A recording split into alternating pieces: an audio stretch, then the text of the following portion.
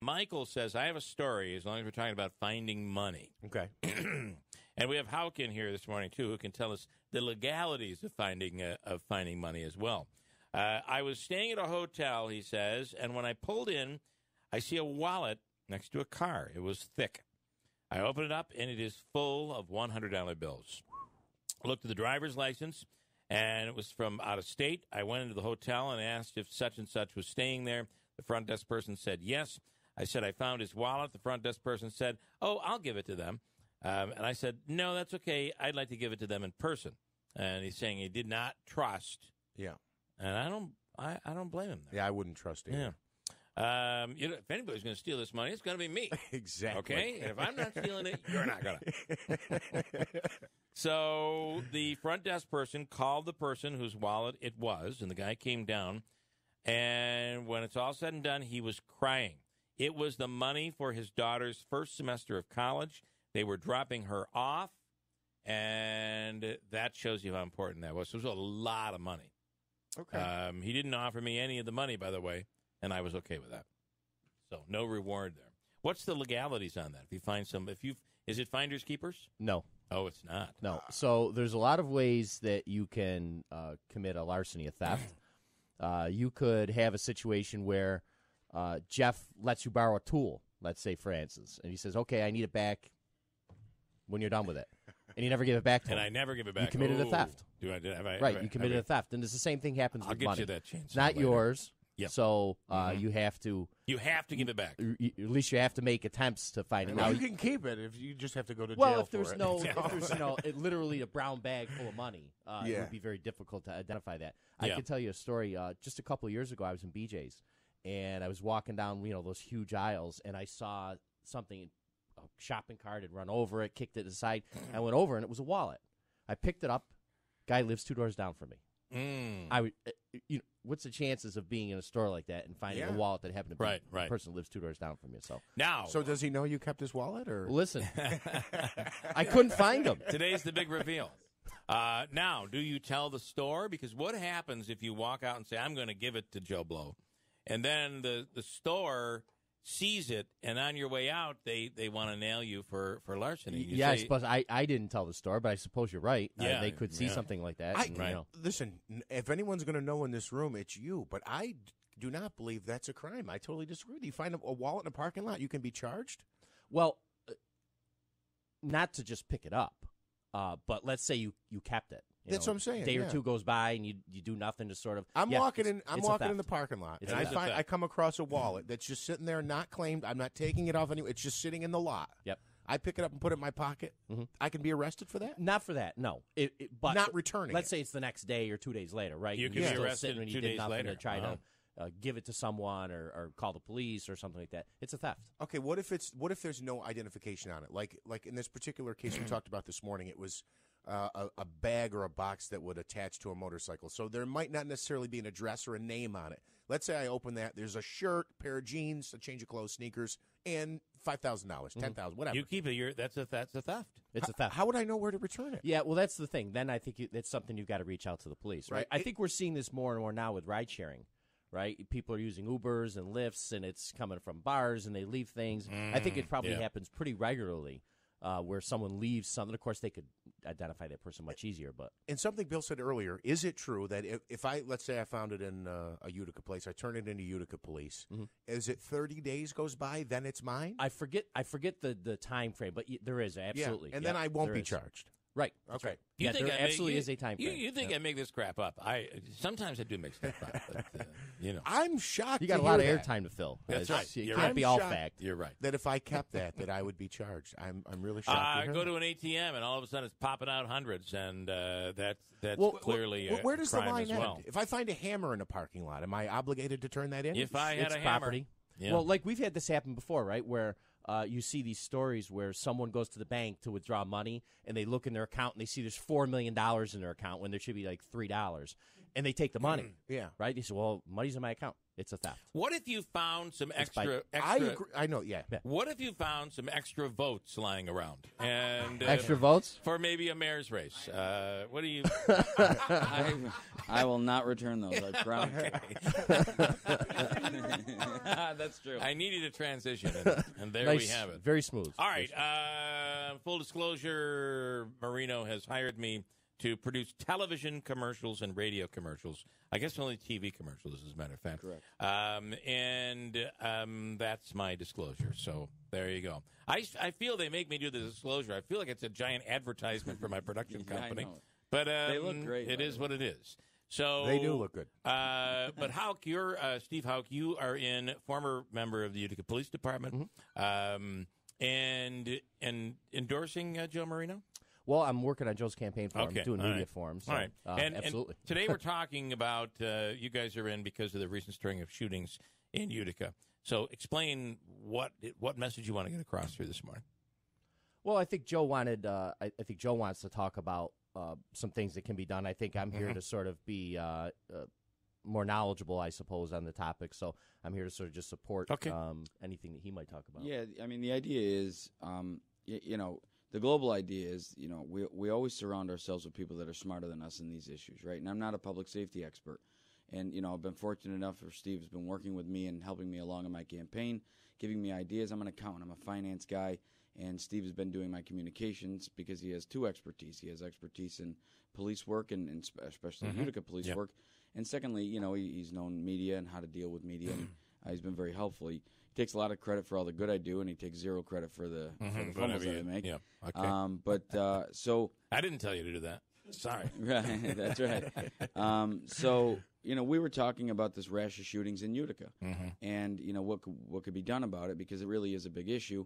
And then you know the story with Virginia popped up, and uh, and that was a municipal building. It really hit home because again, we talk about that issue that you know was at City Hall, and it was directly kind of related to that Virginia Beach shooting. Like, how secure is City Hall, and how are we going to do that? And my idea at the time, and it still is, is that we have one police officer that we got through CDBG money, Community Development Block Grant money, and it's just to protect you know City Hall, and it was because of one incident that happened with the mayor, and I thought that that police officer should be on the street, and this kind of goes back to it.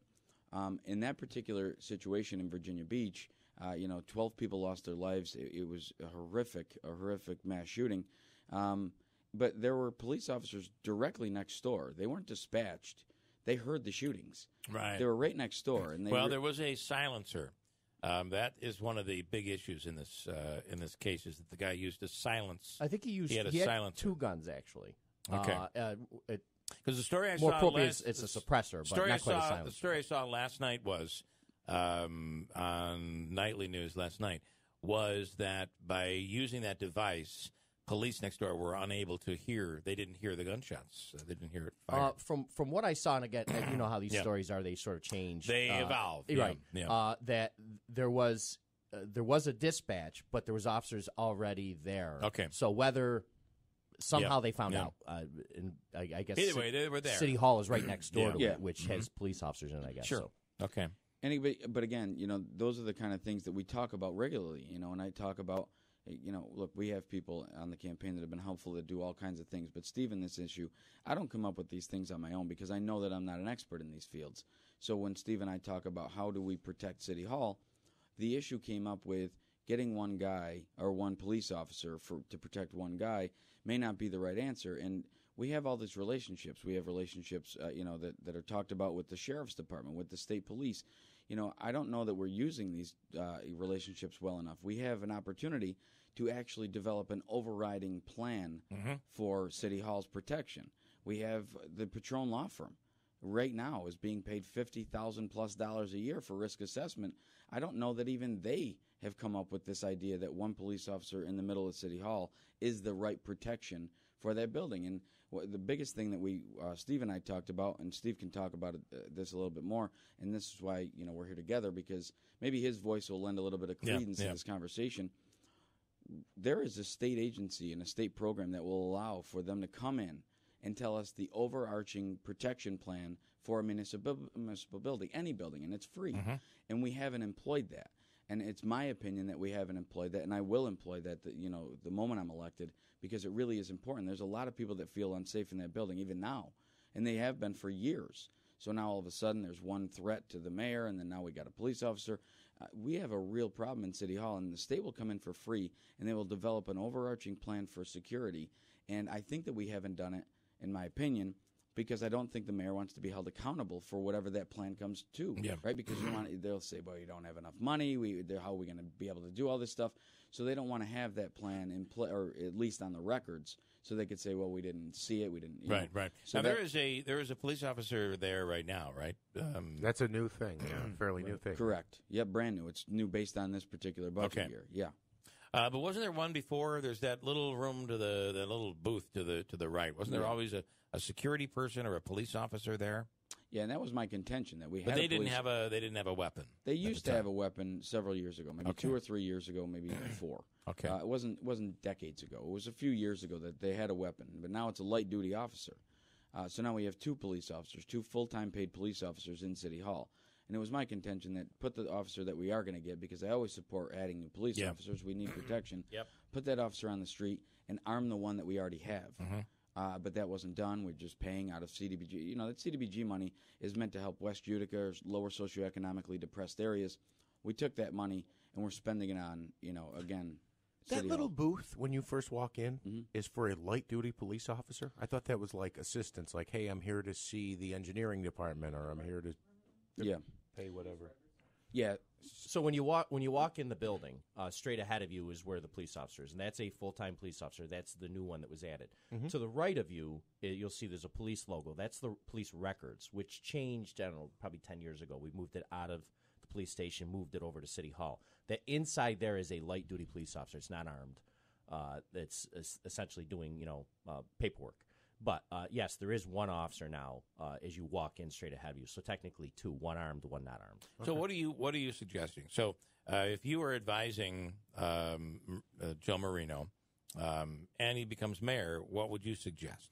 So when when you talk about buildings, you know, you have when you talk about targets, if you will, you know, you have hard targets, soft targets. We know about that. Sure. So in schools, that's one of the things they did. Is schools said, okay, well, we can't have armed police officers in every single school. I mean, you have daycares, you have.